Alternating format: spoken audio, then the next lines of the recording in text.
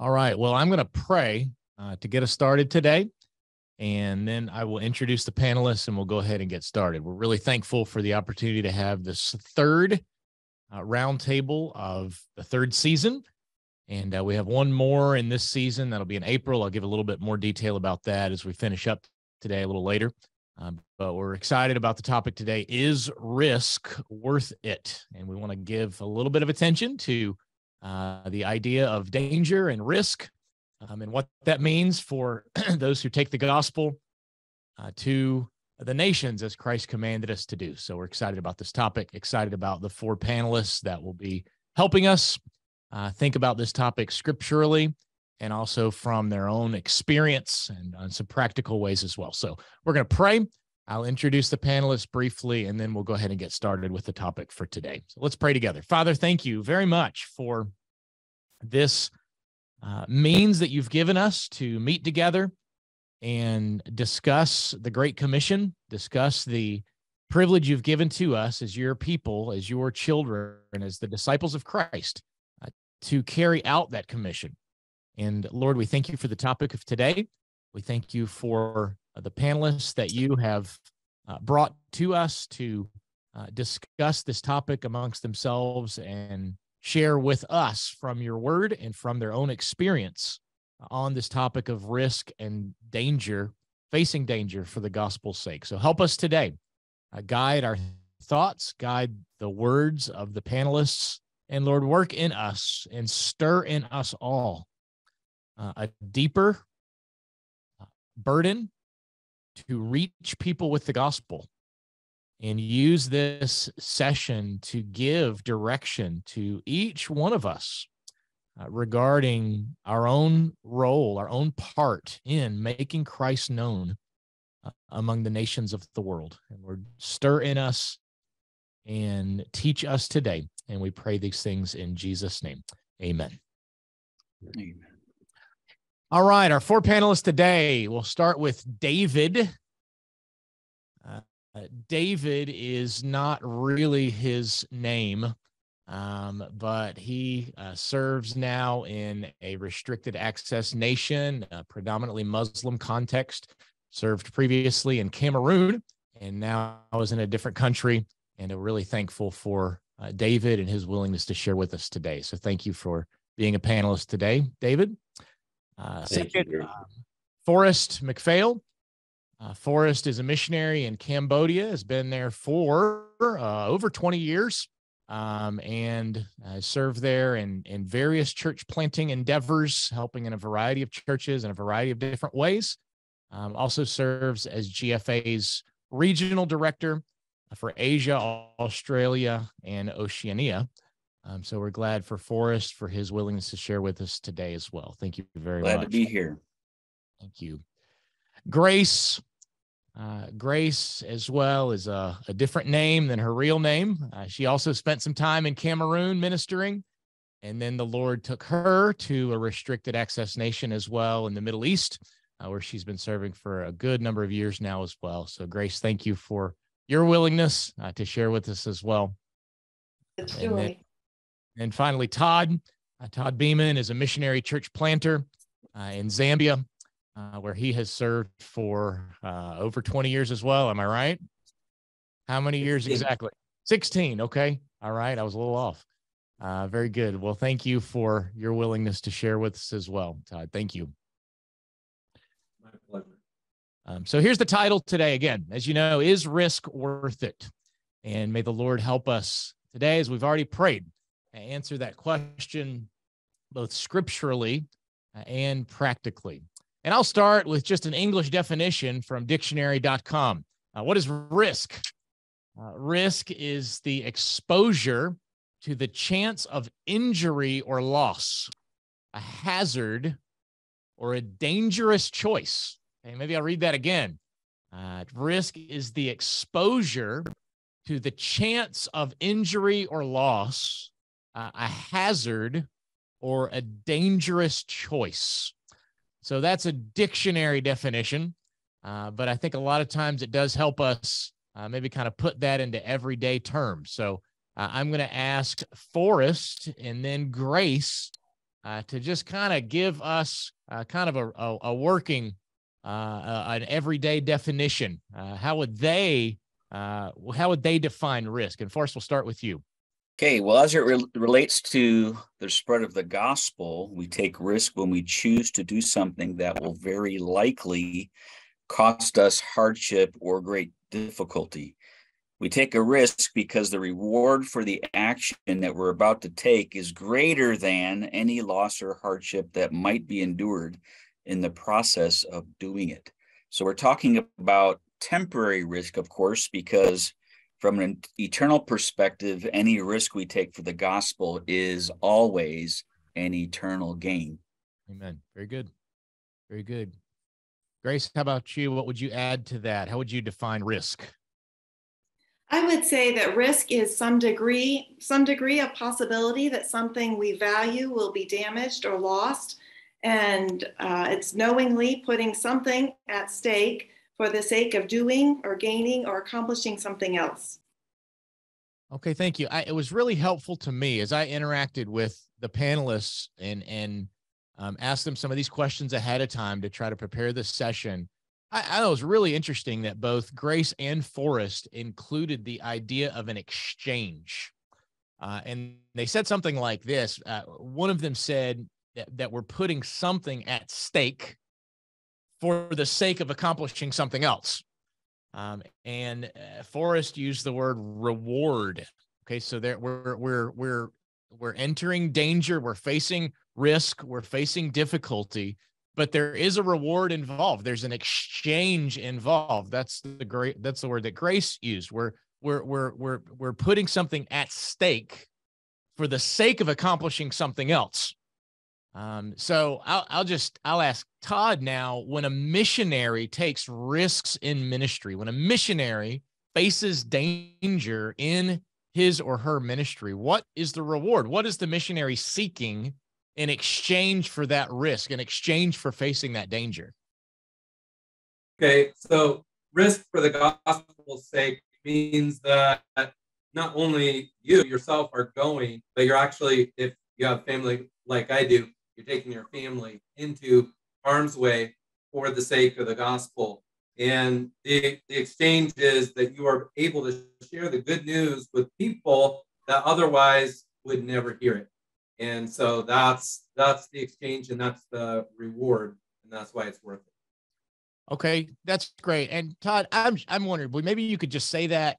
You you could repeat that and and you know i'm i'm i just really really i think this is so important this is so important really foundational uh, for this topic that this is an exchange okay we're not facing risk just because we like adventure okay we're not mm-hmm. facing danger uh, because we get some personal thrill out of it. There is an exchange.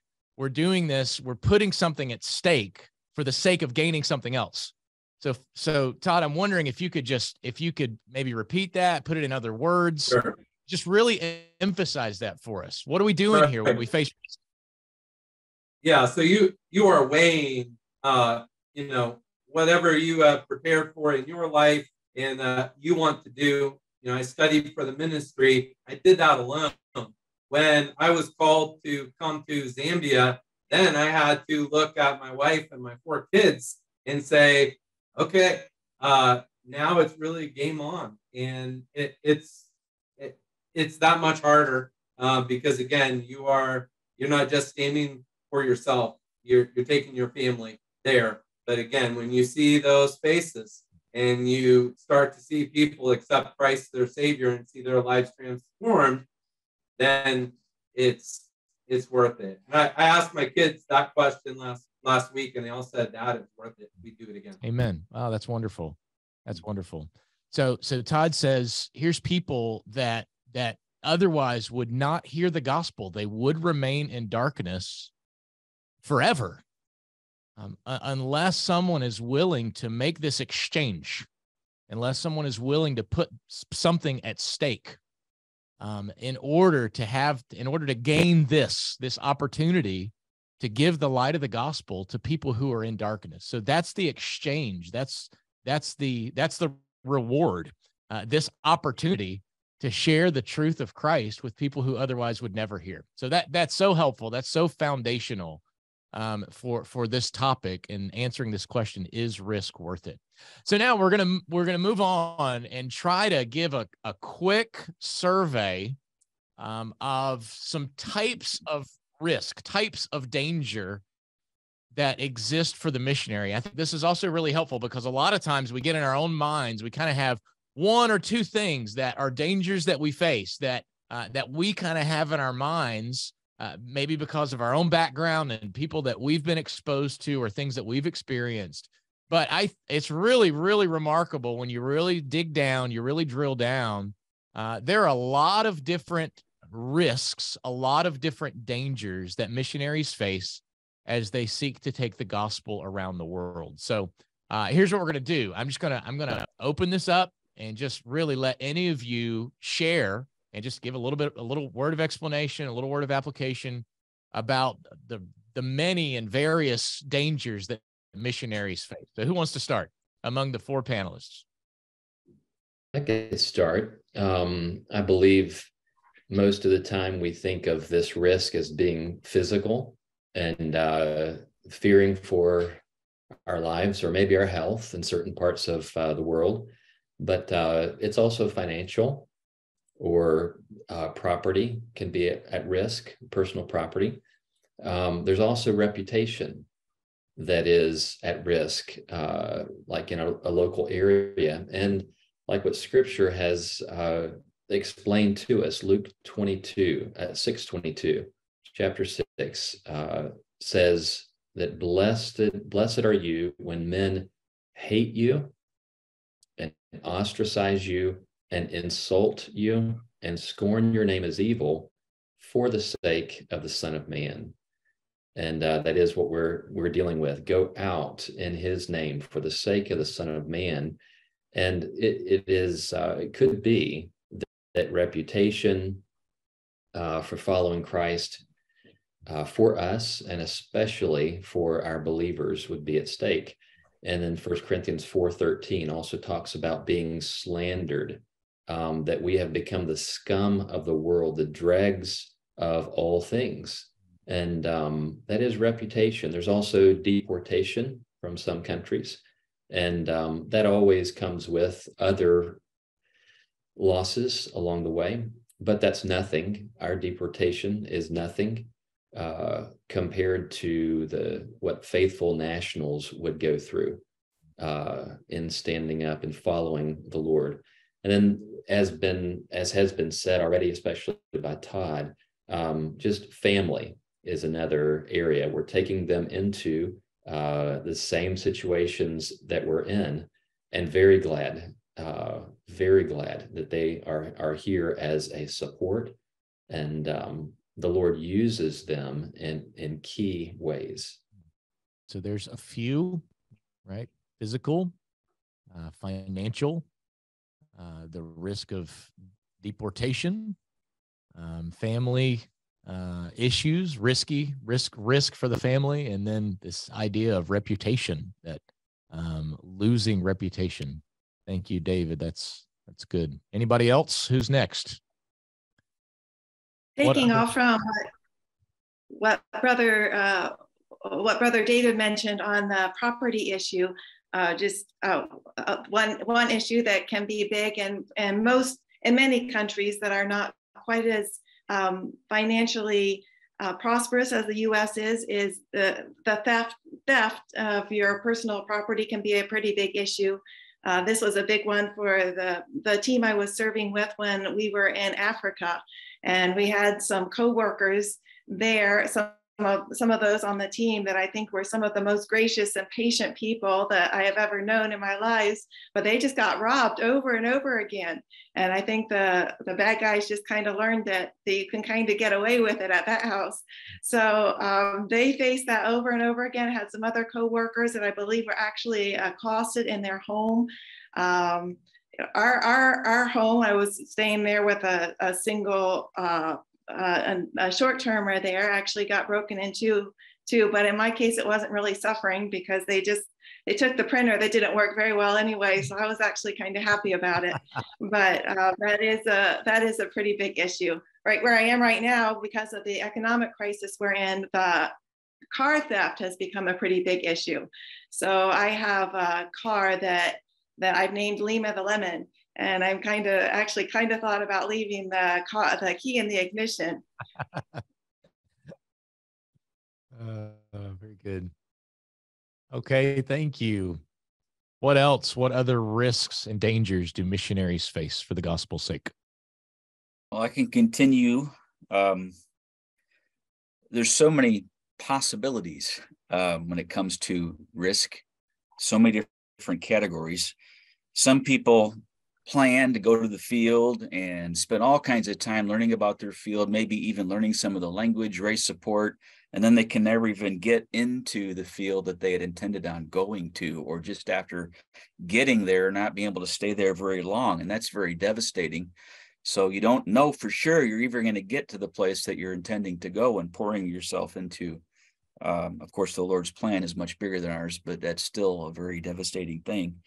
Uh, we can face trials and testings and temptations in a more intense way than we've ever experienced in, in before, um, such as something like isolation, um, coming from uh, a situation, in, let's say in the states where you have really good support in your local church and you have, know all kinds of Christians and there's just so much around you to bolster you. Then you get to the field and you're in the middle of nowhere and you're all by yourself and um, if there are no churches to work with yet and virtually no believers or no believers, then you're in real isolation. And that can be pretty intense. It's a, it's a, a serious trial. You don't know the language, you can't speak well yet. It really works your soul, really works your emotions. These are very real things.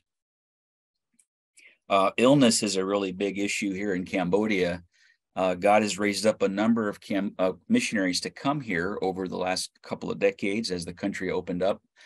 And the level of illness, the percentage of missionaries where a families where one of the spouses is severely debilitated by illness is just amazing. Um, it's it's a real serious issue. It's a big risk, and people that come here know you know that if you come to cambodia you're basically signing up for illness and suffering uh, in these categories. And of course that affects your family life that affects your marriage it affects your kids it affects ministry uh, when you deal with all of these these issues. Uh, there's direct persecution like shunning and verbal and physical things. Um, there's subjecting yourself to oppressive regimes um, some of our missionaries serve in places where they have to put up with the most severe restrictions on their daily lives, very severe. Uh, my heart goes out to them. I wonder, you know, naturally, there's no way that I could endure what they're what they're enduring or have endured with those kind of limitations from those oppressive regimes outside of the grace of God and uh, corruption. You say, well, America is corrupt too. Uh, yes, indeed, it is. Every country is corrupt, you know, uh, but at least maybe we understand that corruption and how to work the system. And then there's the risk of going to another culture where there's severe corruption, far greater maybe than in the US and in ways you've never experienced before. And there's a lot of risk of loss there financially and a lot of doubt and fear of what people are going to do to you, being afraid of the police, being afraid of the military, not feeling safe when you see the authorities, but wanting to hide from them instead. Um, I remember the first time we came to, I came to the States for my sister's wedding and I was in the O'Hare airport and I was waiting for my ride and a police officer walked up and I thought to myself, this is weird.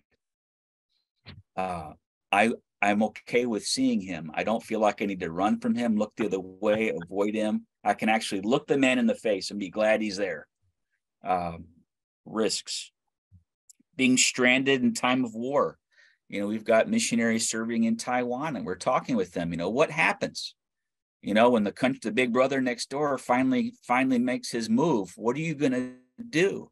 You know, you could be uh, a captive, you know, by them. What's your plan of action? You know, there's real risk there. Mm-hmm. Um, when we face culture shock and we we go through all the different things that you deal with on the field. Uh, you, we're pushed to our limit. Mm. uh, we're pushed to our limit in multiple categories and some, sometimes all at once and that that is very difficult to handle. Uh, i was talking to a missionary the other day about uh, the the just sheer weight of the spiritual darkness that she was feeling and it was so intense to her and she was so overwhelmed by that spiritual darkness that she was dealing with. Mm. there's also vulnerability in ministry as well. Okay i'll be done with this one. There's vulnerability in in in uh, ministry. Um, you put yourself out there. You, you, if you're involved in church planting and you go out to a place where you're trying to establish a, a ministry and um, the risk is nothing's going to happen or people aren't going to come to Christ for a long time or no one's going to listen or or uh, be interested. What am i going to do then? And if things are really slow how you have to handle that over the it was two and a half years for us before we saw anyone interested in the gospel here in Pursat City. That's a long time when you're putting yourself out every day for the gospel and uh, the toll that takes on you uh, of you know god's people are supporting you to be here and i'm preaching christ and you know I, i'm not seeing anything happen and you really get worked on worked over by god's spirit and by different uh, trials of your own soul. So these are all things that are potential possible and probable that are going to hit or could hit you um, as you go into cross-cultural ministry Wow. Todd, anything to add to that, or Grace or David, anything else to follow up on here with this idea of the types of risk? Sure. Uh, you know, I would definitely echo a lot of what Forrest has said. Uh, he's put things very well. Uh, for us, I think health has been the biggest issue here in Zambia. Um, and again, to reiterate, as as the dad or the husband, when I have a health issue, I just deal with it. But when your child has a health issue and there's nothing you can do, or your wife has a health issue, uh, it's overwhelming. And certainly that's when you put your trust and reliance on the Lord. Uh, I'll give a, a, story. My wife was having what she thought was a heart, maybe a heart attack, a heart issue. And so she's like, I think we should just go to the, the clinic here and say, Kathy, you know that these guys, it's not worth our time. It's like, I, what else can we do? And I said, okay, let's go. So we went, we go into the doctor's office and she gives the symptoms of what, what she feels she's having a heart attack. Doctor never takes out a stethoscope, never takes her blood pressure, looks at her and says, I believe you have laryngitis.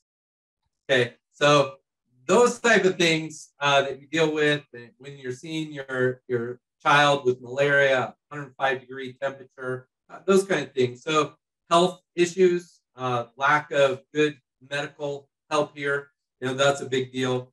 Uh, distance away from family. When we first came, you know, our family was very close back in the states. So our, our children leaving their cousins and their friends behind. Uh, you know, that was that was a hard thing for them to deal with, being in a different culture as well they couldn't just communicate right away with the kids that are here. And so that takes time to be able to forge any type of friendships. And then now, uh, as Kathy and I are empty nesters, uh, the loneliness of having our kids in the States and having grandkids that side. So, so that plays, uh, you know, into it.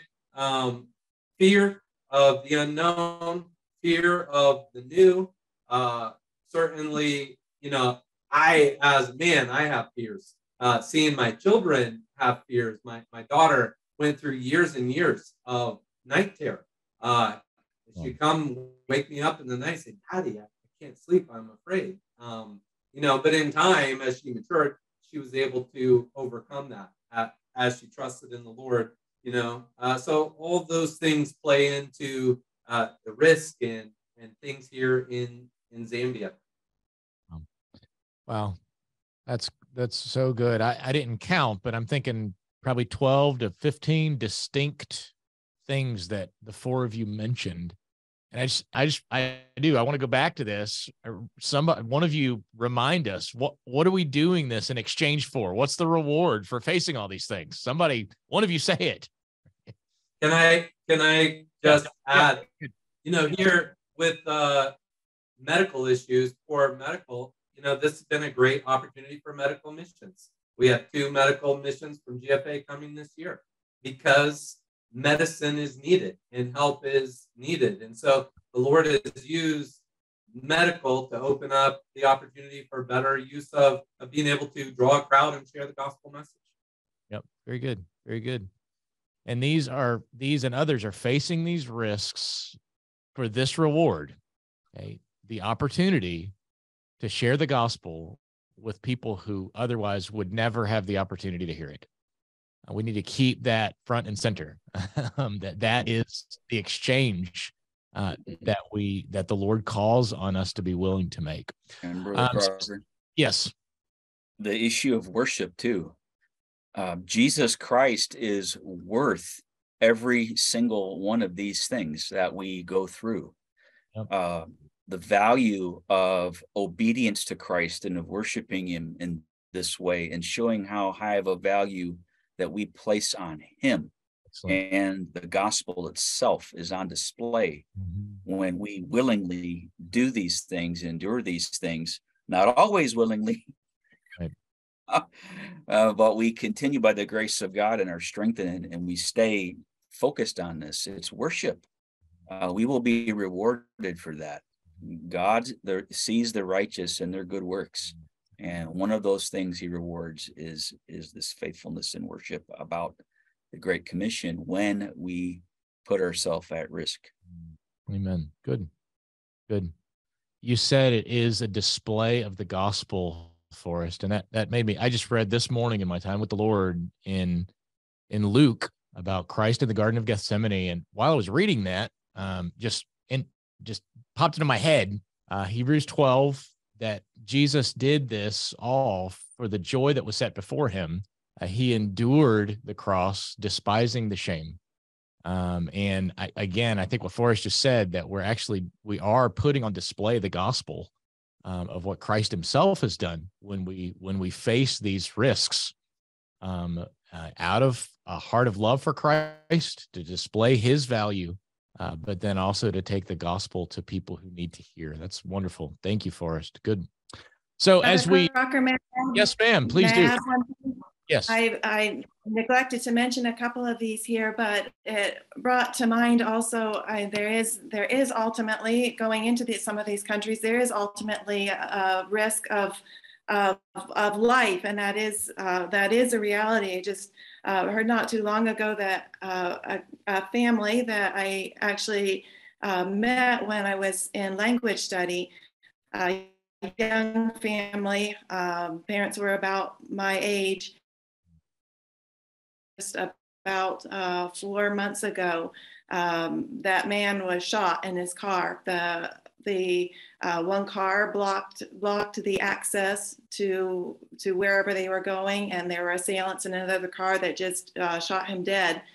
And uh, that was that was very dramatic to me, just because of the perfect the the personal knowledge, knowing what this family was coming from.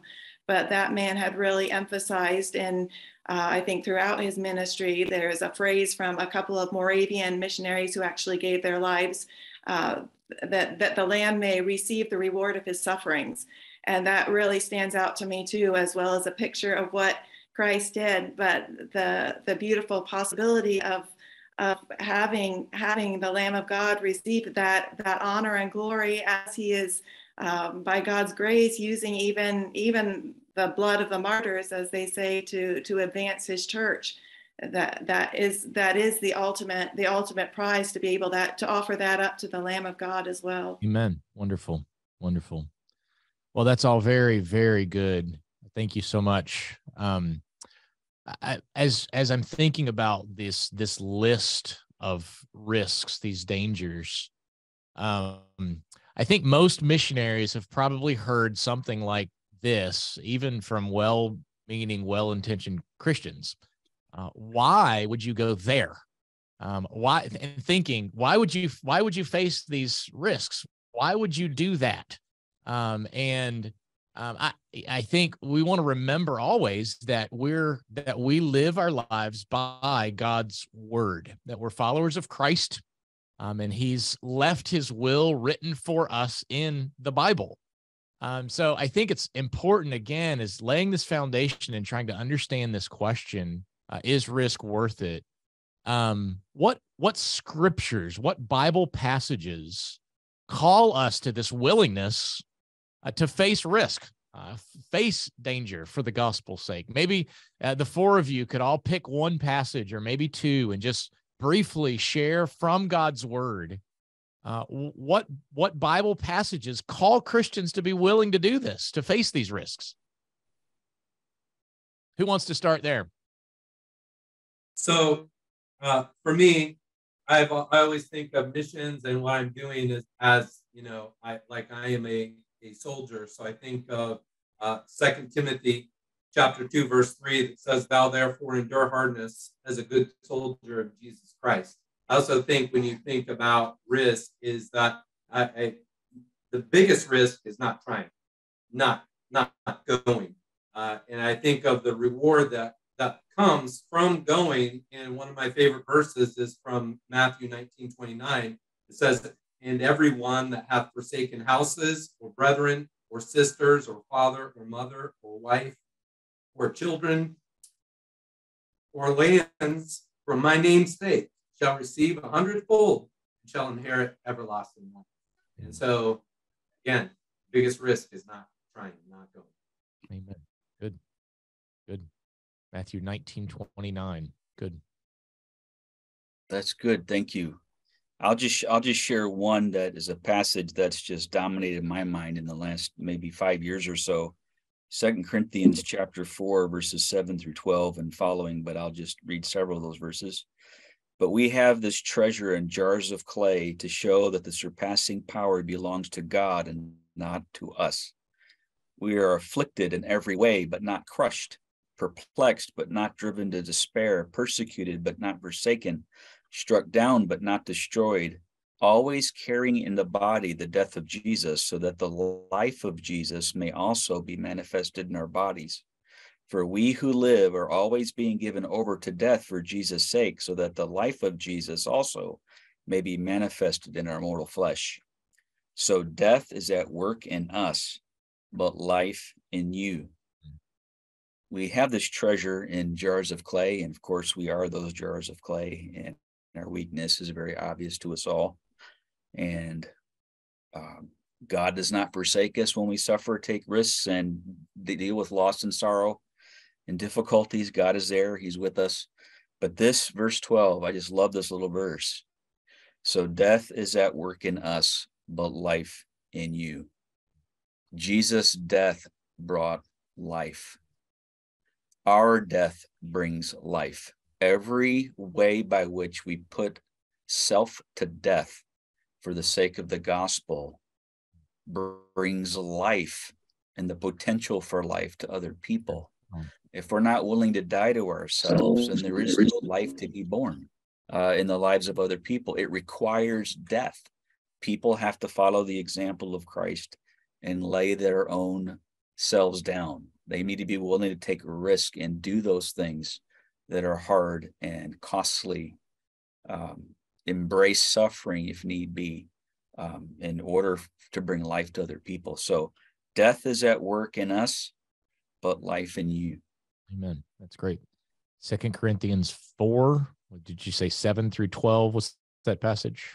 Yes. Good. Especially verse 12. Good. Thank you Forrest. That's great. Grace or David?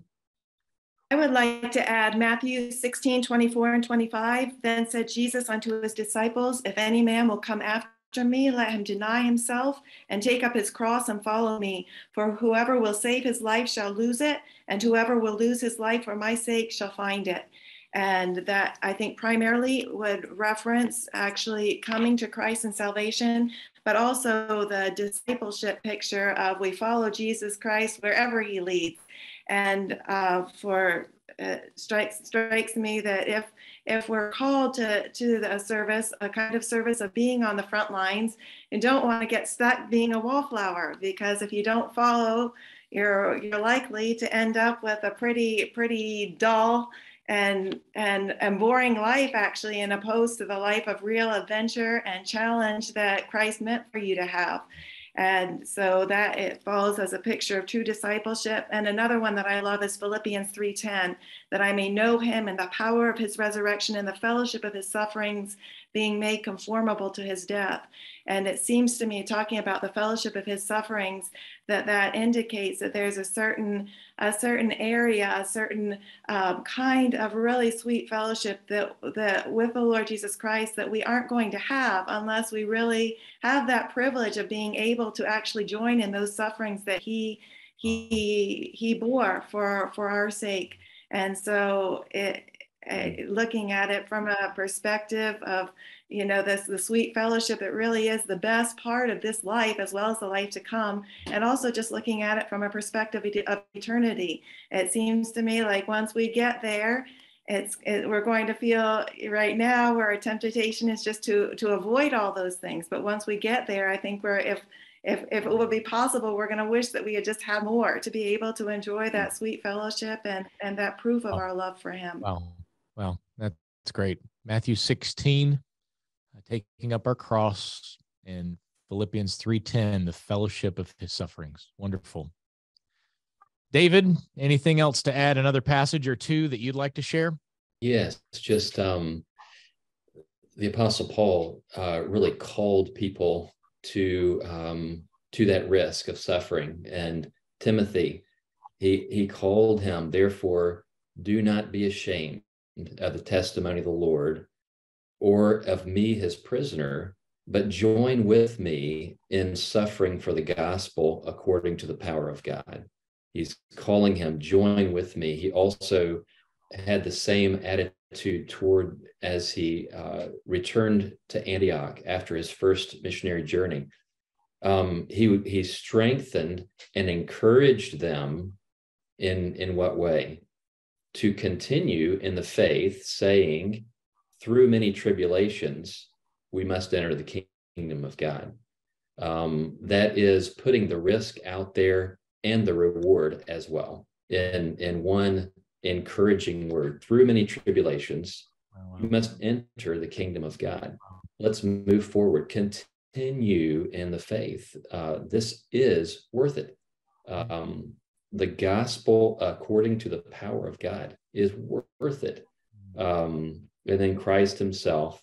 That, by the way, those were, I didn't give references there. Um, that was Acts 14 22, talking to the church at Antioch. Calling Timothy to suffer with him was Second Timothy 1 7 and 8. And um, Christ calls us to uh, to follow him in this same way, unless this is John 12, 23 to 26. Um, he's talking about his hour has come to be glorified. What is that hour? We know that as giving up his life to be a ransom for our sins. And he said he he it is the same idea that uh, that uh, Grace talked about he says, Truly, truly, I say unto you, unless a grain of wheat falls into the earth and dies, it remains alone. But if it dies, that risk involved, not just physical, but it's if you die to, die to self, what will happen to that one grain of wheat? If it doesn't die, it's just one grain of wheat. It stays alone by itself. But if it dies, it brings forth much fruit. He who loves his life, wanting to save it, loses it. And he who hates his life in this world will keep it to life eternal. If anyone serves me, uh, he must follow me. That's the risk. Where I am, there my servant will be also, will follow him into risk. Into any kind of suffering, it's okay because if anyone serves me, the Father will honor him. The reward comes afterwards. It is worth it. Amen. Wow, that's great. Great.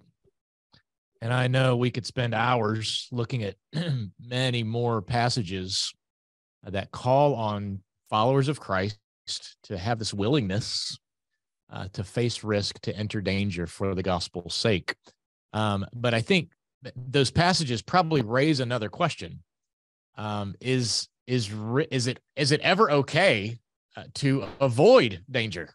Um, I think that's another question that's probably naturally raised as we hear all these passages, these commands about uh, taking up our cross and following Christ and entering the kingdom of God through tribulation and and this willingness to suffer for Christ, which we should all have. Um, I think maybe the question that would come up would be: Is it ever okay uh, to actually get ourselves out of a situation of danger? Is it ever okay to avoid risk? Um, so, would one of you want to speak to that question? Does does the Bible ever allow us to get around uh, danger in any instance? I believe uh, we are uh, given wisdom, but also from God's word, just to, if risk is perceived to threaten the long term effectiveness or will of God, or keeping that door open longer, um, or just finishing the work, keeping this present work that's going on intact, um, so it so that it can continue.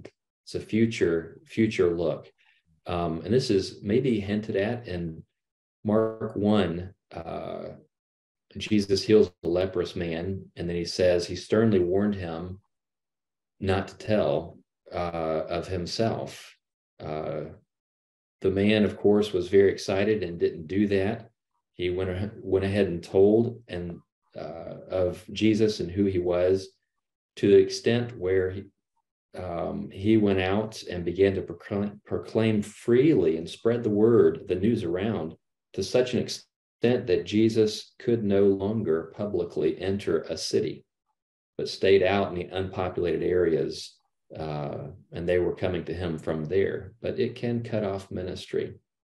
Okay, yeah, good.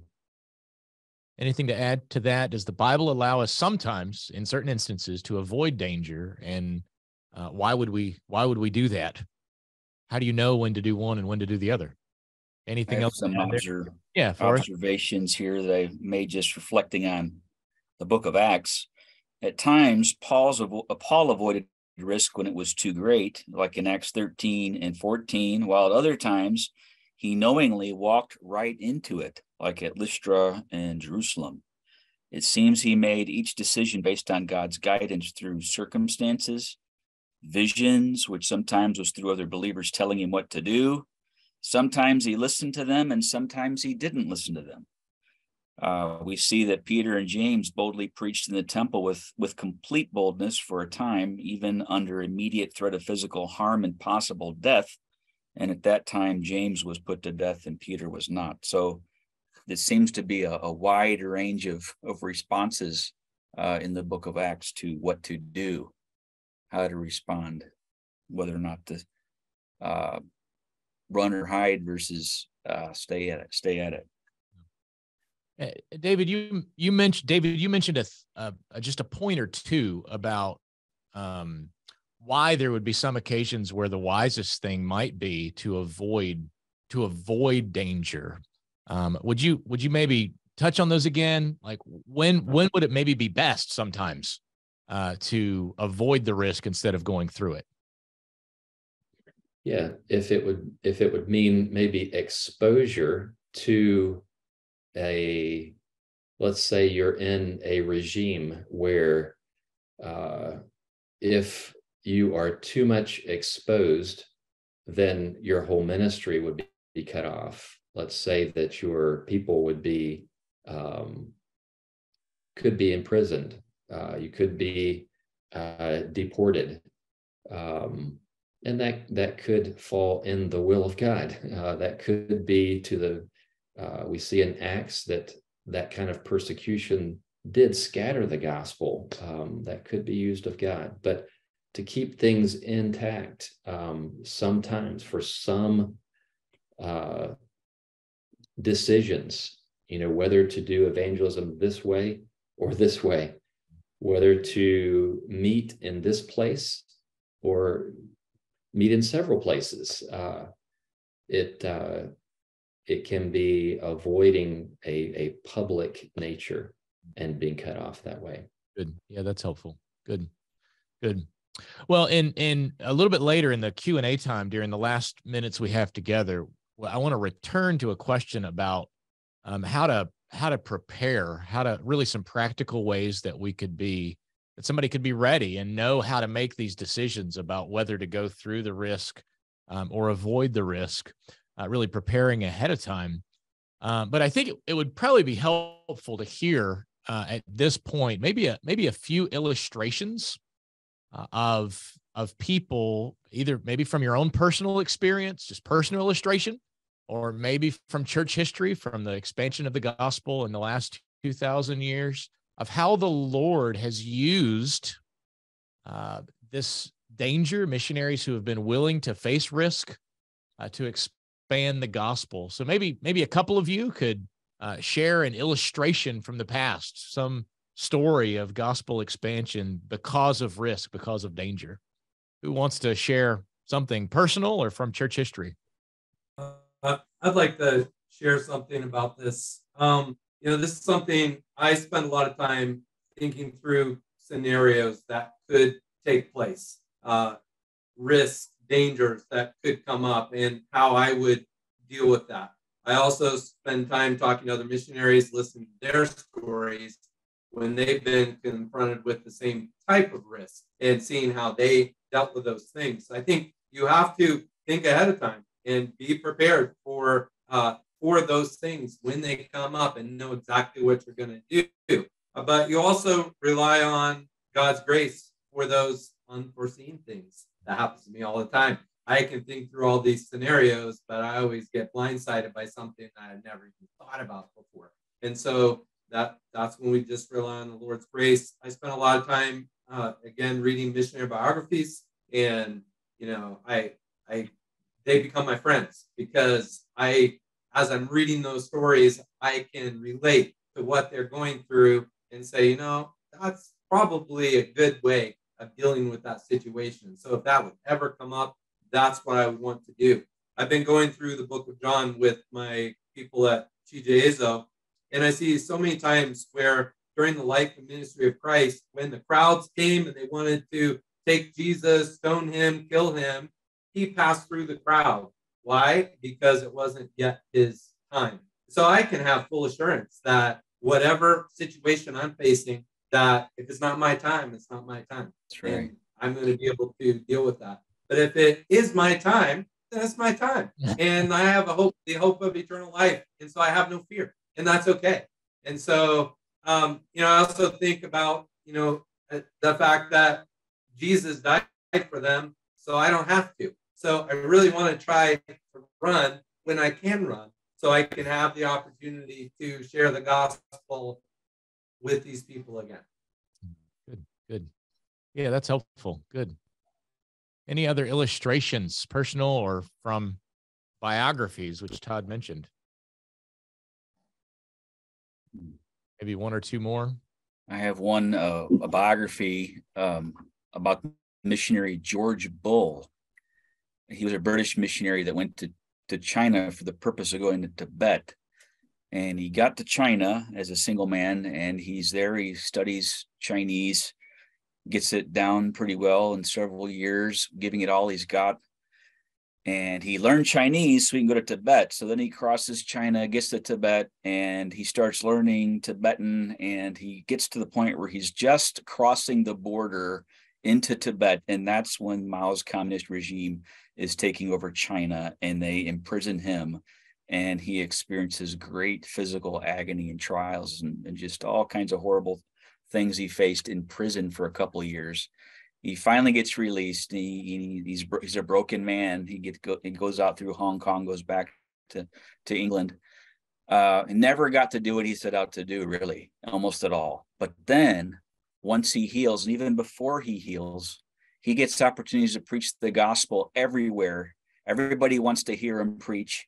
He's seeing people get saved all over the place and called to missions through his ministry. Um, that's not what he set out to do. Mm.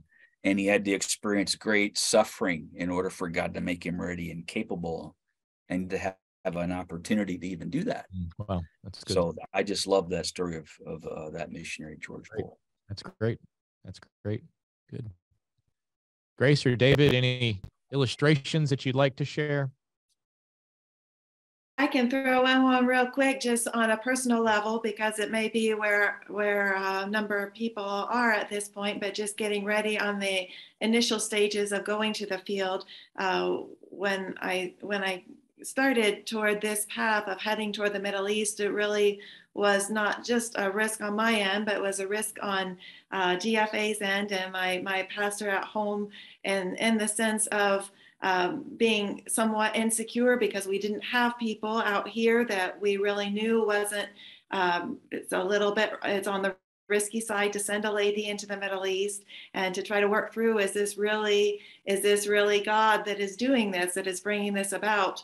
And uh, i'm really thankful that my leadership was willing to to really work through those those things and to be willing to take the risk right along with me of, of, of facing the possibility that this really is the Lord's leading, even though it, it was a, a, bit on the unusual side.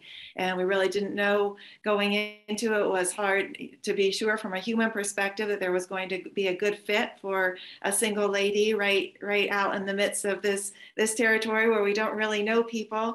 And just really thankful as as we've seen seen that as we've moved along and I've got Pastor Keith here is one of my uh, one of my one, one of my greatest greatest support forces in the background. I'm very thankful for him, but just really thankful for how the the the, uh, the doors the Lord has opened. He's put me in a place where there was actually a tremendous need for the kind of ministry that that the Lord has given me with the ladies that I'm working with to have someone to follow up with them, and got wide open doors right now for the gospel in this time frame where we are right now. And so that to me, just seeing that how God worked in the past, being willing, uh, not just for me, but for my leadership to take that step forward to following um, following the Lord's the Lord's leading. And he the the story is not told yet. We're still kind of in the middle of the story, but it's encouragement encouragement to me, and I hope will be to others as well. Just to when the Lord does open those doors, to to be willing to go forward and take those risks. Amen. Good. Good. That's great. Thank you. Well, how about one more question? And uh, we'll give you a couple of minutes each here um, to, um, I, you know, we, we usually end these roundtables, and I, it's just so, it's always so stirring to me just to, to really give the panelists uh, just an opportunity to give some final words to us on the topic. So here, the question today is risk worth it? You know, we've heard about all these different kinds of dangers and what the scripture calls on us to be willing to do. Uh, we've heard some stories about the way the Lord has has used uh, risk and and danger to spread the gospel. Um, and, and I maybe just take a, a couple of minutes each, um, and maybe just in a really direct way answer that question: what what makes risk worth it? I mean, how what does the Lord do in us um, to to make us willing to to take opportunities like this, to face risk, to face to face danger? Okay, what what is the value? Um, what motivations are there? There's another word. What motivations are there um, for for taking risks for the sake of the gospel? Um, and um, Todd, maybe we could start with you. What's what's exhort us? Okay, why should we sure. should we be willing to do this? All right. Well, first of all, I I cling to number one is my calling. I have no doubt that it is my calling to be a missionary. Sorry, in Zambia, Africa, and so regardless of the risk, regardless of what we face, those difficult challenges, I I fall back on that. So I know yeah, this is where I'm supposed to be. God called me to this place, and He is going to do exceedingly abundantly above all that I could ask or think. He's going to provide for me in those darkest of times. Um, so knowing the short calling, because we get tested all the time. But when we see people that are in a dark, spiritually dark village dealing with witchcraft and dealing with their provincial life, coming to Christ and seeing life transformed, seeing a village transformed because so many Christians now are living there to see uh, the waning of witchcraft and drunkenness and all of that, to see that lived out makes it worth it. And so, yeah, I would take the risk over again, mm. no problem. And my wife would, and my, my kids would as well. Amen. Wonderful. Thank you. Thinking of the exchange, the reward. That's wonderful. Good, good. Okay, who's who would like to to answer that question next? What motivations do we have? What makes risk worth it? I would go back to what uh, Brother Todd was saying about about the calling and uh, there was a passage that struck me in uh, in Exodus 3 where Moses was talking to the Lord and he was complaining about his insufficiency to do what he was called to do. And we know, of course, that Moses was absolutely right. He was insufficient, but the Lord gave him two two things. He he he said that the two things that that made it worth it, really worth it to take the risk that he he himself was sending him and that he would be with him. And those two factors seem to me to be the critical ones that uh, I have myself other ideas that weren't necessarily of the Lord. And I'm really thankful in those cases that I've had I've had wise counsel to keep me from taking risks that weren't really of the Lord. But when they really are, the I think that the chief one that really that really motivates and really totally makes it worth it is love for the captain that we are following, uh, following the Lord Jesus Christ when when he speaks who can who can say anything when he's given so much for us to just have the privilege of going forward after him there's nothing nothing else in life that is more wonderful than that mm-hmm. and i think it, secondly uh, as far as the calling goes as as brother todd mentioned but just the realization that if you if you are called to do this anything else isn't isn't going to work. It's going to be a jonah experience. And and uh, then also one thing that really is really a sweet thing to me i call it getting getting in under the hijab.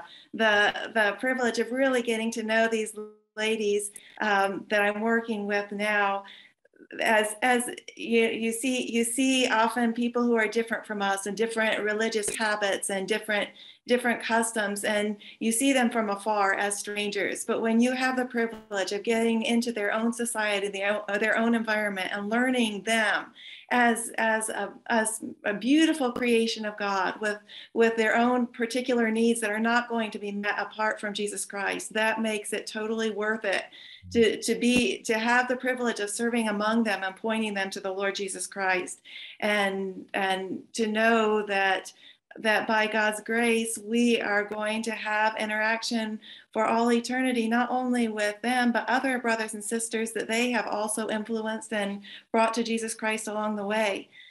So, so returning the the and and the joy of then the, just the fruit in their lives of being able to see them who face greater risk than we do. I think Brother David already mentioned that that they they face greater risk than we do, but seeing them actually over able to overcome their fears and press forward with Christ as well, that makes it totally worth it. Wow, very good. That's great.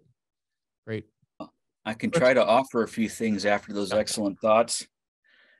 Um, when I was um, in college, I had a very intense desire for the Lord to allow me to do something hard for Him. And I prayed, Lord, let me do something hard for you. Uh, now, that's kind of an immature prayer request because all obedience to Christ in every circumstance that we could ever be in is is hard and we need God's grace to do it and we can accomplish nothing apart from him and whatever God wants us to do uh, that's what we ought to want to do uh, in service to him. But what I had in mind by that was, Lord, put me in a situation that is so hard and so impossible that when you work, I can't get the credit for it. And that's the desire of my heart.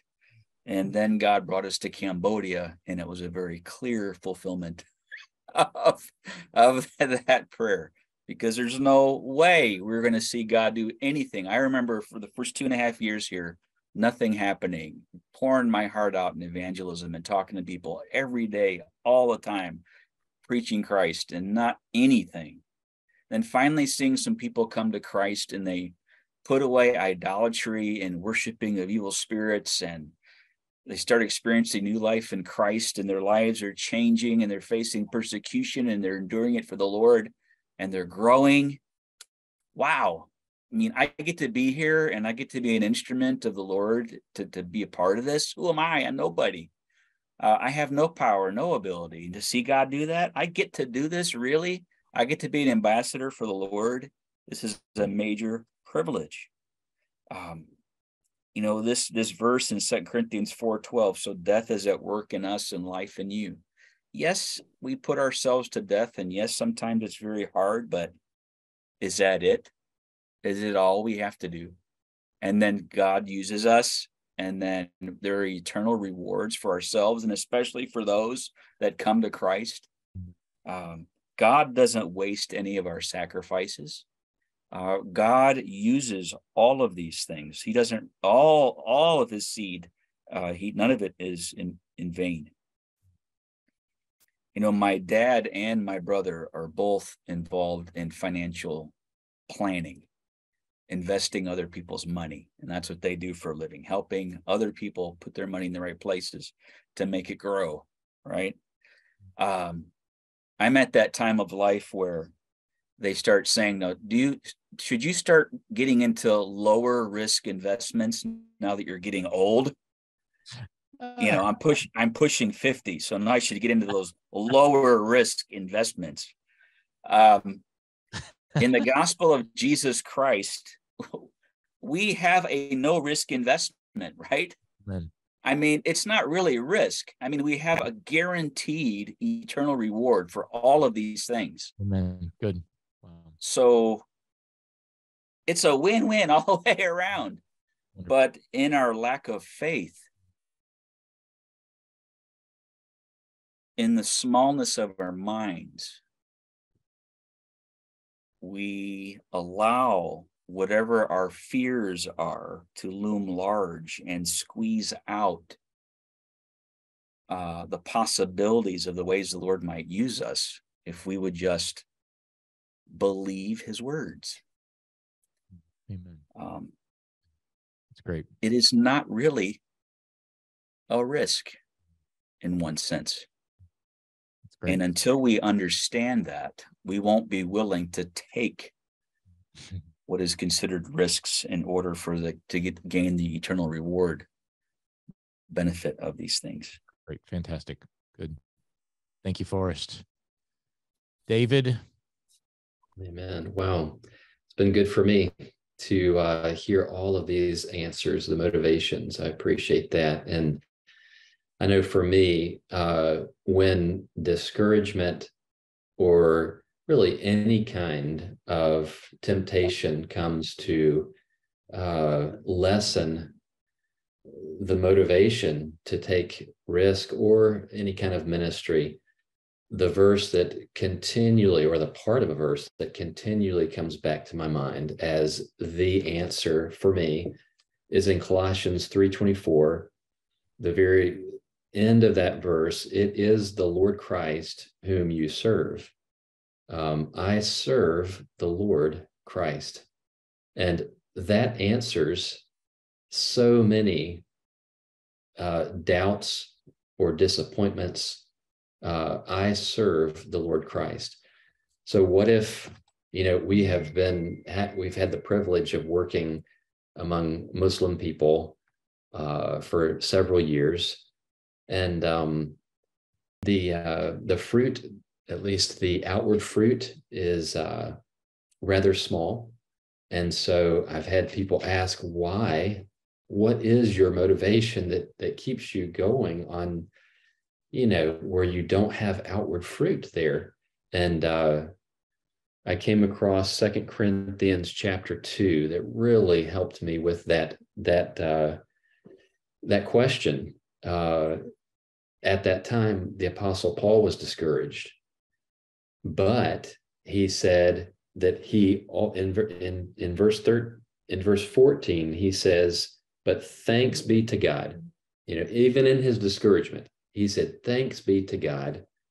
Who always leads us in triumph in Christ and manifests through us the sweet aroma of the knowledge of him in every place.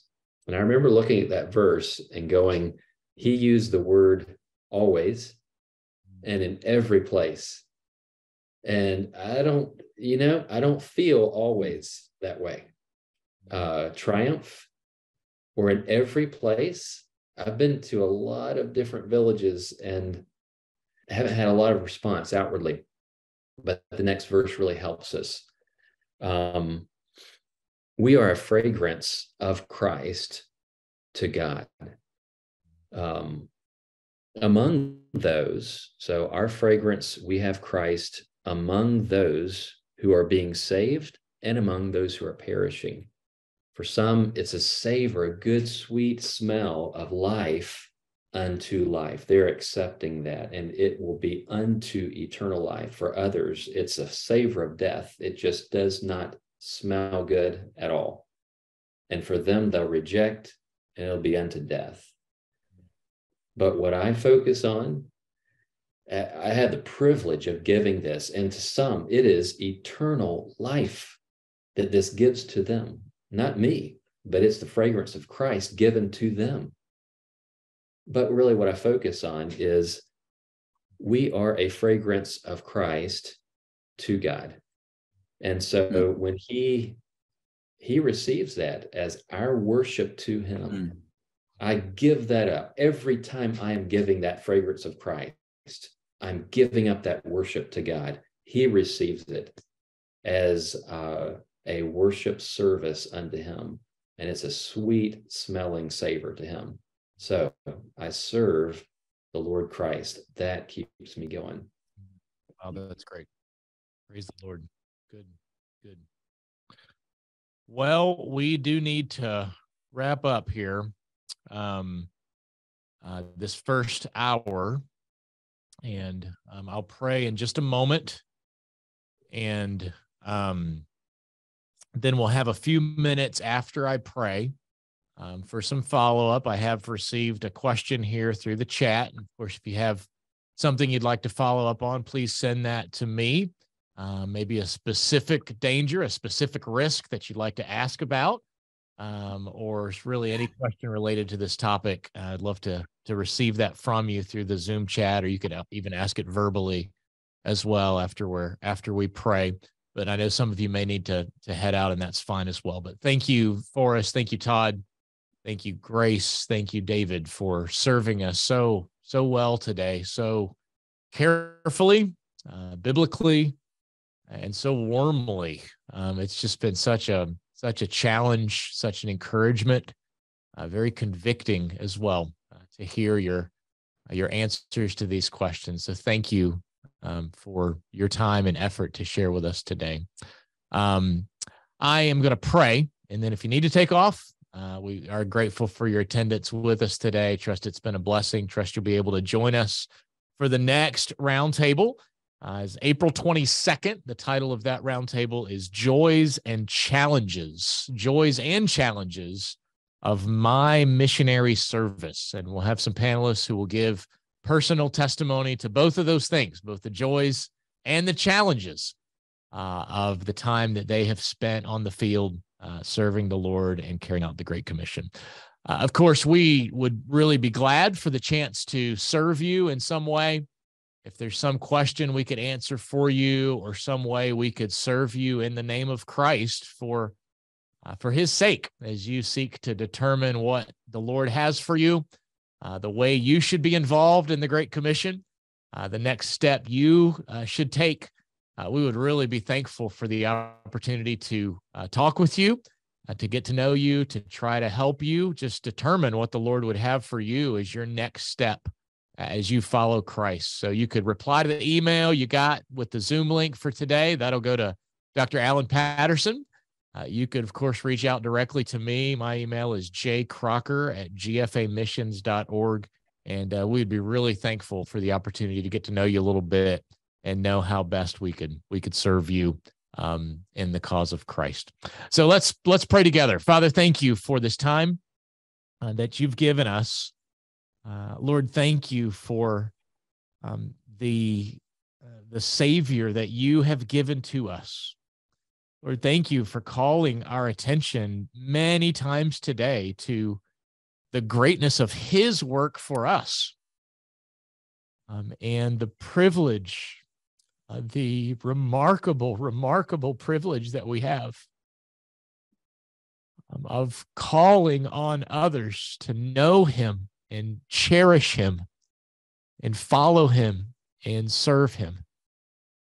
Um, and Lord, we we have heard today from your word. We've heard today uh, practically from these panelists that you've given to us today of the joy of um, facing risk, uh, the joy of suffering, of sharing uh, in fellowship, the fellowship of his sufferings um, as we serve him. Um, and Lord, I pray that you would stir in us that willingness um, to follow him, to take up a cross and follow him, even unto death, uh, to display his worth, to display love for him, and to give the message to those who, uh, apart from our own uh, willingness to suffer, would never hear of Christ. Um, and Lord, release us, we pray, from um, making an idol out of safety and security and comfort. I mean, give to us that willingness, Lord. Work in us that willingness uh, to follow Christ wherever he leads, to do whatever he would call on us to do. Um, Lord, thank you for him. I mean, Lord, we pray that you would make our lives pleasing to him in every way. Uh, and we pray these things in his name. Amen. All right. If you need to go, uh, thank you for being with us. I've got a couple uh, questions to follow up as well, uh, but we do have one that's come in. So we'll start with that one. Um, and of course, if you have a question, you're welcome to send that to me as well. But um, here's a here's a question um, touching on something Forrest mentioned, um, and this is a this is a good question. On the one hand, uh, the reward is eternal. Okay, so, uh, in in light of that, uh, the the risk is negligible by comparison. So Forrest said it's really not a risk. Um, the reward is eternal. Um, we know the outcome of of gospel ministry. We know the outcome. Um, so in that sense, the risk is negligible. But on the other hand, uh, when faced with the choice, um, the the natural response might be to go to the field or take the action um, where there's the lowest risk because the return is actually essentially the same. Um, so the question is, how do you reconcile those two things? Um, how do you reconcile the fact that uh, the return is technically going to be uh, the same, that the gospel is going to have this effect in every nation? How do you reconcile that um, with this idea of going to the places um, where the risk might actually be lower uh, because we know that the gospel is going to have its effect there as well. I think I'm I think I'm expressing that question the right way, the way that it came through. Uh, how do you reconcile these two ideas? Um, uh, go place, go to a place where there's low risk because the people there are going to come to Christ, or go to a place with high risk because the people are going to come to Christ. Um, so how do you how do you sort through that? I, I hope I'm representing that question correctly. So, anybody want to answer that? Anybody want to take that on?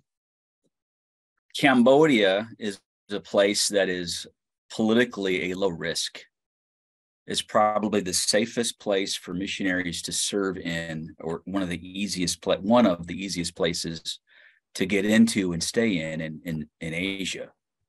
Um, and here I am in Cambodia. There's a lot of persecution. Uh, there's demonic activity. There's Buddhism. There's lots of physical risk and corruption and stuff like that. But I don't I don't face persecution to violence or anything like that. So that's the context I'm in. I think when we're thinking about places low risk, high risk, where you should go, where you should serve, most unreached places in the world or a, le- a more reached place, I think the bottom line is what does God want me to do? To know the will of God and to do it. Uh, that is the emphasis of Christ's life before the Father as a man revealed to us in the Gospel of John over and over again. And the epistles we see Paul keep emphasizing that, emphasizing that as well.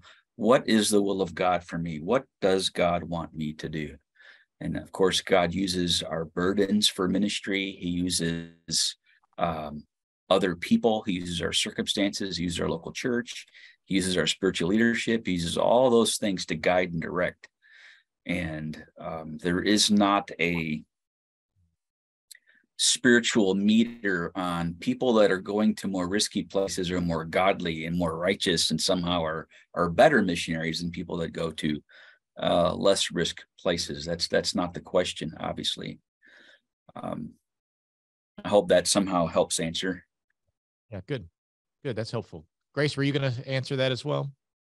Yes, if I could just throw throw a few thoughts in there real quick. I amen to that thought about where God wants us. So we we actually had to deal with this when I was headed toward the Middle East. Someone presented that, that question to my pastor. You know, if there so there are plenty of there are plenty of Muslims in in England, and there it's not illegal to go. So why doesn't she just go to England? So so we had to work through that, and I think three i think three three things that that really stand out stood out stand out to me. Number one like like brother forrest was saying it is it is the lord of the harvest who sends his who sends his laborers wherever he wants them. So it's not really actually up to us. Number two um, that there is a a certain factor i kind of think of it as a as a spring factor where um, for instance here in in the middle east this is and probably the same for for brother Forrest. But this is the center of of where the, these religious thoughts and ideas are springing from. So if you're trying to, uh, you have an obvious factor of the devil who is sowing his sowing his seeds of falsehood all over the world. So if you're going to uh, if you're going to try to address those issues do you want to go to the spring where they're coming out of or do you want to go to the way out center you know you've got so we've got we've got muslims in england but that's not really where those thoughts are coming from. So that's another factor that, that getting right into the midst of it actually there there is a there is a, a second factor there. And then uh, finally that uh, number three a lot of those those other areas that are safer have a lot of other people who are are going to them actually. There there are areas that are that, that are more that are considered more challenging more risky they don't tend to have as many people there. And so that is that is a, a third factor i think one of the missionaries that said you'd rather see my candle burn my one little candle burn out in a dark place than in a place where there are already so many other candles burning too. Good good. I'll add one thing there uh, as well. Um, you know the christ's explicit command to us as his followers was to make disciples of all nations. I mean his explicit will his explicit will is that all peoples know that all peoples uh, be made disciples be made his disciples. Um, that's the commission that he gave to us. Um, and so that is going to require that some people uh, go to these riskier more dangerous places um, for the for the church to be obedient to Christ. Uh, so we have to send the gospel uh, to those places. Um, and so it really goes back to that what Forrest and Grace both said. Um, it's a matter of determining where the Lord would would best use me in getting the gospel to all peoples. Um, and for some people, that means going to a place where maybe the gospel is already fairly well established, but there Uh, the real need is seeing laborers raised up to take the gospel to these riskier places. Um, so a missionary can go, and it's it's actually not a very difficult place to live. Uh, there's a lot of light there already, but uh, that particular land that has a lot of light could be a, a place where more laborers are raised up to go to darker places. Maybe the Lord would use me in that way. Um, and but but maybe the Lord would want me in a place that's completely dark and there's a lot of risk uh, because Christ said to take the gospel to all the nations. So it really is a matter of determining uh, where best uh, the Lord I could be used um, in in in spreading the gospel to all nations, and that's really something that every Christian has to answer, needs to face, uh, and and answer personally. So that's that's a thought that I would add as well there. So good. Well, um, I had um, an, another question um, to, to, follow up on some of the, the things that were mentioned today. Um, and when we think about danger, when we think about risk, uh, a natural response um, is um, at some level fear. Uh, fear of experiencing some of these dangers, uh, fear of the, cons- the consequences of of going of going through this and continuing to share the gospel and continue to carry out Christ's commission in that place. Um, so here's a question for the panelists: How do you deal with fear? Because I know uh, that th- those that that you all have to. Uh, I know that you all have that temptation, um, and I, you know I'm, I'm curious. How would you answer that question for these for people that may be considering this risk, considering danger? How do you deal with fear? Who wants to take that? Uh, I'd like to start if I can. Yeah, thank uh, you. So I would say that whenever these times have come to where you should fear, the Lord is always with me and I don't fear. So it, I, it, afterwards, when you think about it, say, wow, how did, how did I deal with that? Or, or, you know, how did that scenario go that way? It's just the Lord giving you the grace at the exact time, giving you the words to say so that you can get through that moment.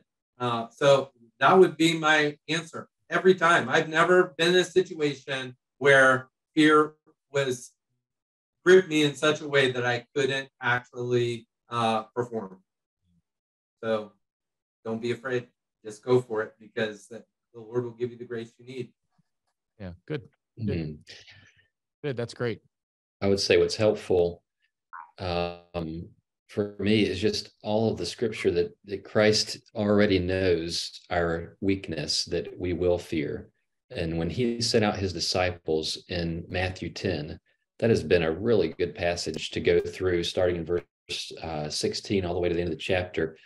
He uh, tells them you know i'm sending you out as sheep in the midst of wolves. So we're basically following him as as our shepherd. We're the sheep. But be wise as serpents be harmless as doves. Beware of men. Be ready for persecution. That's what the passage goes in. But proclaim. And it's just yes there there are these factors ahead of you be all of these things but as as my sheep i'm your shepherd. I'm leading you in this way and this is my will proclaim. What is the next section in that in that uh, chapter? He just repeats over and over do not fear. Do not fear.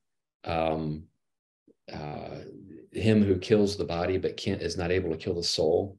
And uh, just comforting those who are following him and doing his will. That that is a true comfort from christ who is like todd says i'm with you always. It's great. another uh, angle on that would be the things that we fear are things that we've idolized in our own hearts. You know the range of what makes us afraid from person to person that i'm looking at on the screen here is very a wide range of what those things are some people don't want to go into cross cultural missions because they don't want to be accountable to, to churches. There are some people that if you were to really get down to it, they don't want to have administrative details. They don't want to. They don't want to have to deal with uh, emails to churches, interacting with pastors, and making phone calls.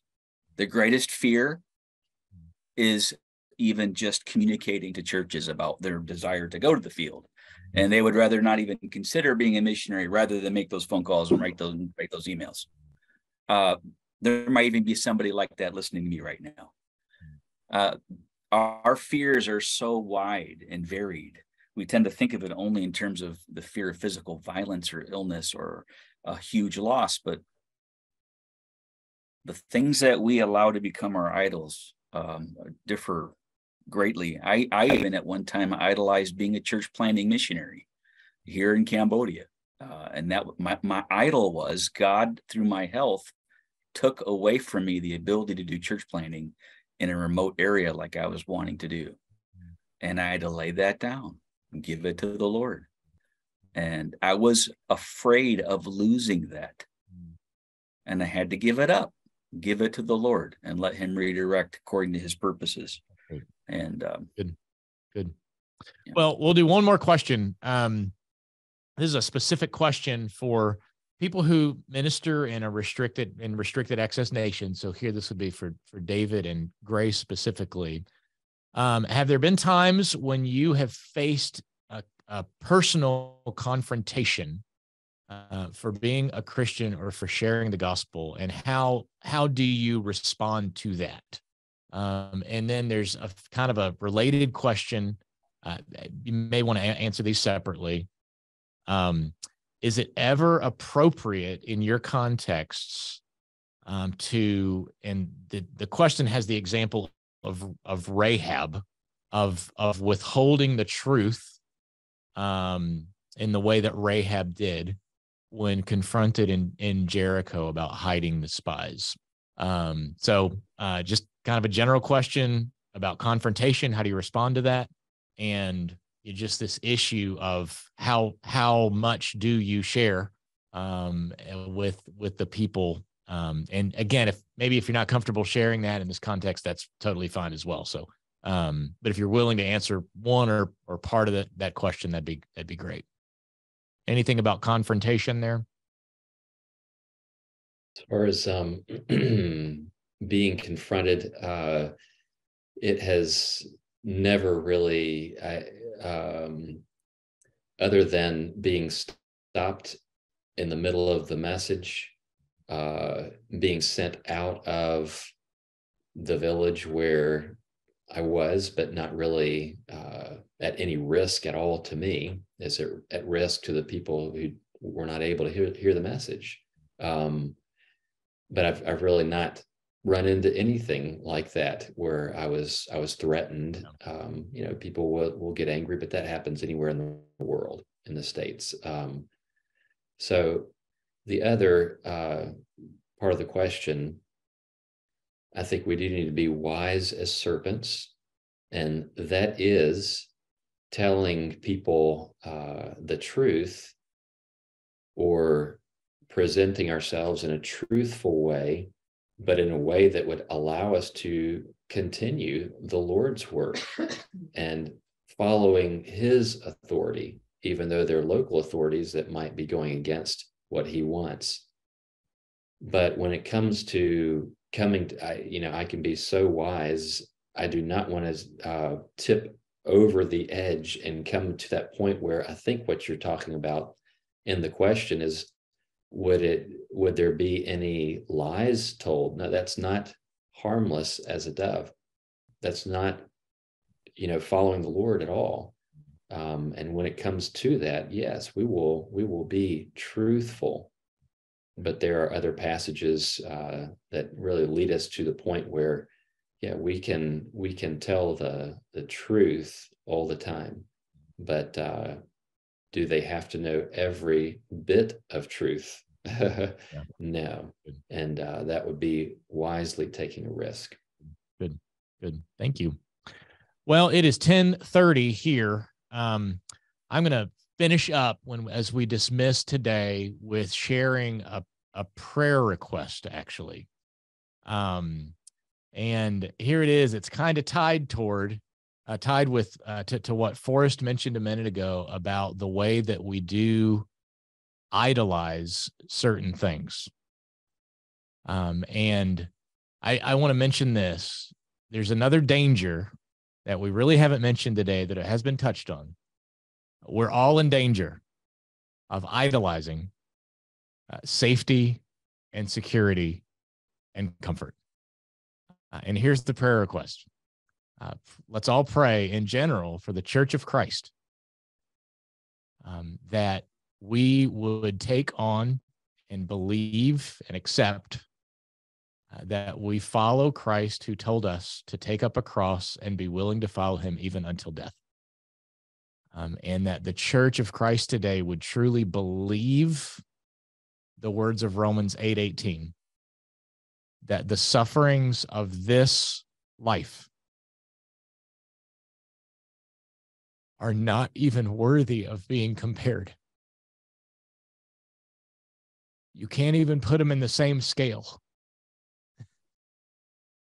that the sufferings of this life are not worthy to be compared with the glory that is to be revealed to us. They don't even go in the same scale. They're not worthy of being, even being put next to each other. Um, and I think we could all pray that the Lord would stir in all of us as his church uh, true faith in those words. Um, and that through those words and the other words that we've heard today, uh, he would he would really help us answer yes that, that risk is worth it because Christ is worth it um, and it will be for his glory. So thank you very much for being here today. Trust the Lord will give you a good day. And um, if he would allow it, we'll see you on April 22nd uh, for the final roundtable of season three. God bless you. Have a great day.